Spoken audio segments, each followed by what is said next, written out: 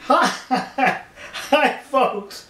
Oh God, woke up from his sleep. Yeah, I was sleeping, kids. Great news. The U.S. Ninth Circuit on the West Coast in these here United States of America, they issued their order on the court case between the Japanese whalers and Sea Shepherd.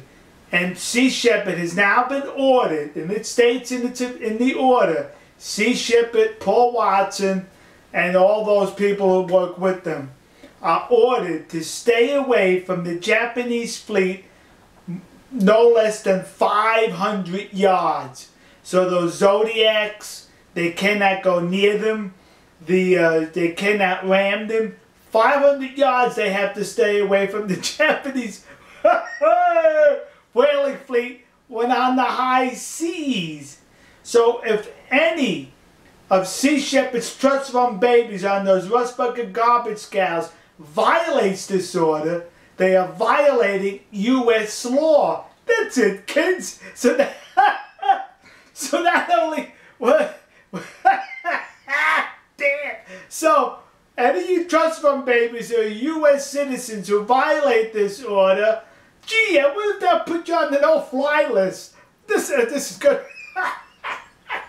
oh, gosh. Ah, folks. This should be interesting to see what takes place. We know the fugitive himself could not care less about this order because he breaks laws all over the world.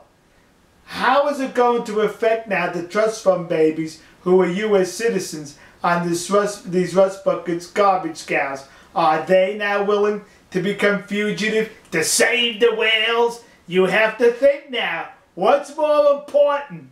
Saving the lives of the whales?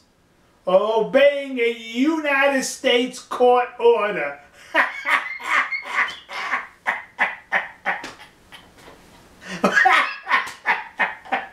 we'll see you folks. God bless you. God bless America.